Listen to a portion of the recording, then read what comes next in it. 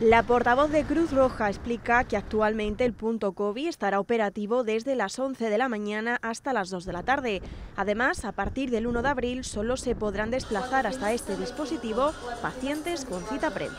Es decir, no podrá venir nadie como hasta ahora, mm, que se le ocurra venir, que sienta que se encuentra mal, no, solamente ya con cita. Tiene que dar sanidad a quien considere. Isabel Brasero recuerda que durante las fechas críticas, donde la incidencia acumulada era de riesgo muy alto en la ciudad, el punto COVID llegó a atender a más de 700 pacientes diarios. Con un resultado de bastante, bastantes positivos al día, más del 50, más del 60%.